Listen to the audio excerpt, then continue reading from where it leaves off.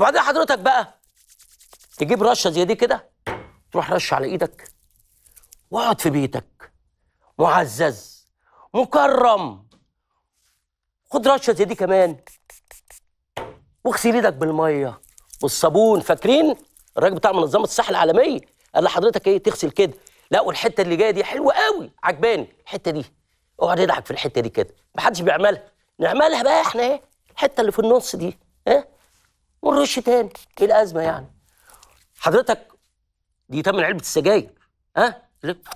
أنا عارف إن طول النهار ما أنت قاعد في البيت أنت بت- بتشرب مثلا ثلاث أربع علب بره وأنت قاعد في البيت طبعا مش طايق نفسك. فأنت ها؟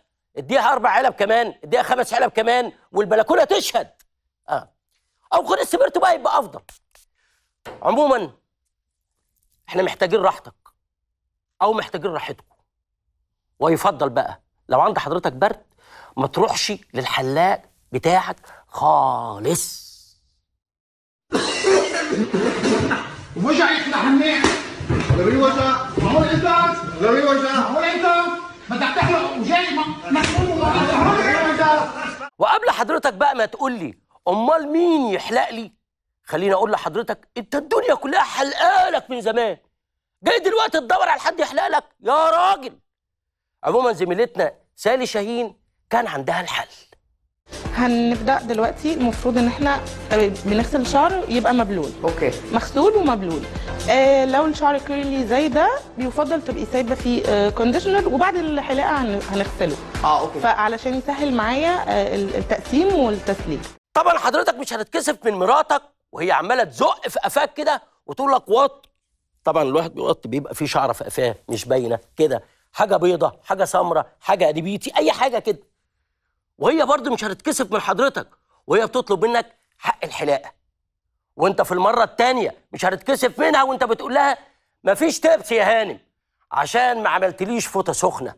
ولا هتتكسف حضرتك منها لما تطلب منها تلبس كمامة. بس ما تتخضش هي ممكن تعمل إيه بالكمام